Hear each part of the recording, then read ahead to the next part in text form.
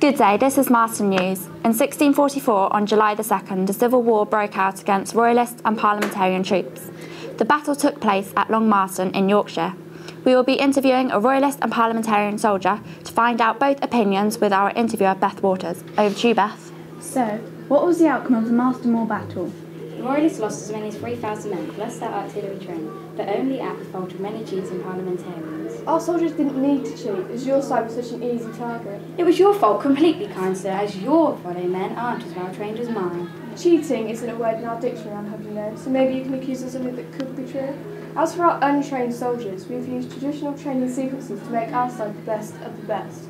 However, cheating seems to be your everyday vocabulary, so it's more likely the Royalists haven't actually been so wrong. Okay, I know you both have different views, but this is a family programme. Give us some facts.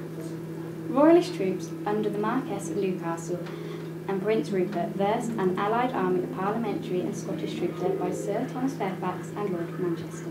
What about the other side? The Civil War was going badly for Royalist forces in the north of England. The Marquess of Newcastle was forced to fall back on the fortified city of York, where he was besieged by parliamentary armies under Sir Thomas Fairfax. Never once pulled back from the fight. Rupert now ordered his tired men out from York to surprise the enemy.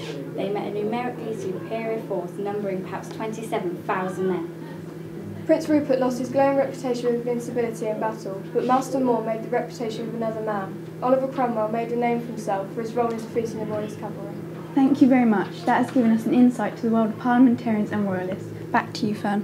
Thank you, Beth. Parliamentarians seem to have a strong side. We will now speak to an, ex- an expert, Alice Walker, to discuss the battle plans, tactics, and the possible consequences or results. The Royalist and Parliamentary armies used pretty much the same tactics when in battle. Before the battle actually commenced, both sides would line up face to face. Right in the middle would be the infantry brigades of musketeers and pikemen. Either side of them were the cavalry. The right wing would be led by the Lieutenant General and the left by the Commissioner General. Can you explain the contents of the infantry brigade? Most certainly. Musketeers carried a matchlock, not very accurate, but could kill a man at 300 yards. The main problem with the matchlock was it took a long time to reload after each shot. To solve this, they had, after they had fired, they retired to the back to reload. Pikemen. These men carried pikes that reached between 12 and 18 feet long. During the cavalry charge, the pikemen aimed their pikes at the chests of the oncoming horses.